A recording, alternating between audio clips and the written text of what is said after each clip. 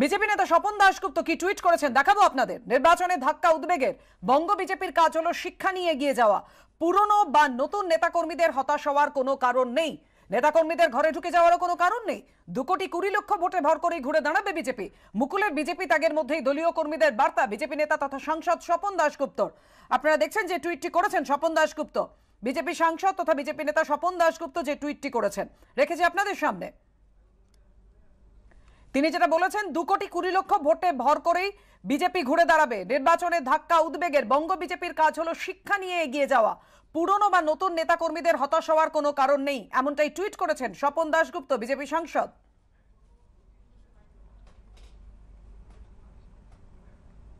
রাজ্যের খাদ্যমন্ত্রী রথিন ঘোষ কি বলেছেন, দেখুন। এটা আমাদের দলের সর্বোচ্চ নেত্রী, আমাদের মাননীয় মুখ্যমন্ত্রী, এটা তার বিষয়। তিনি আমাদের দলের হায়েস্ট ফোরাম যদি মনে করেন কাউকে নেবেন কাউকে নেবেন না, সেটা তার বিষয়। এটা তিনি নিশ্চয়ই কোনো একটা আগামী দিনে ভালো চিন্তা করে, ভাবনা চিন্তা করে ভাবছেন। এটা আমাদের দলের সর্বোচ্চ নেত্রী আমাদের মাননীয় মুখ্যমন্ত্রী, এটা তার বিষয়।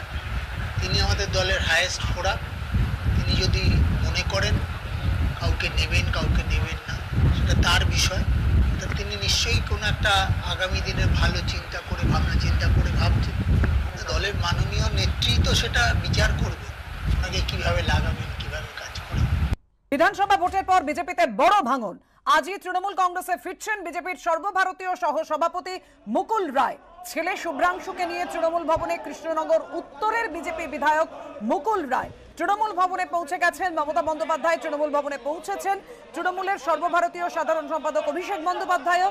বিকেল সাড়ে চারটে নাগাদ এবং এখন যদি আমরা ঘড়ির দিকে তাকিয়ে দেখি, সাড়ে তিনটে বাজে, অর্থাৎ আর এক ঘণ্টা বাকি সাংবাদিক বৈঠক মমতা বন্দ্যোপাধ্যায়ের। এমনটাই জানা যাচ্ছে, মুকুল রায়কে পাশে বসিয়ে বৈঠক করতে পারেন, সাংবাদিক বৈঠক করতে পারেন মমতা বন্দ্যোপাধ্যায়, এমনটাই খবর সূত্রে। বিজেপির সর্বভারতীয় সহসভাপতি মুকুল রায় এই মুহূর্তে পৌঁছে গেছেন তৃণমূল ভবনে।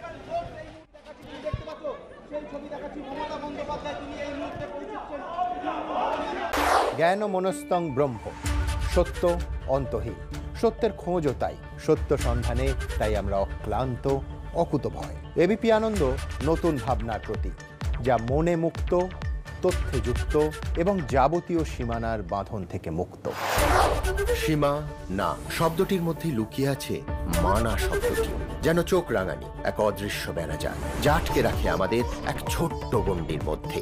একমাত্র সঠিক খবরই গড়ে তুলবে এক মুক্ত সমাজ। সেই জগৎ গড়ার লক্ষ্যে কোনো সীমানার ঠুকুটি আমরা মানব না। এবিপি আনন্দ, এগিয়ে থাকে, এগিয়ে রাখে।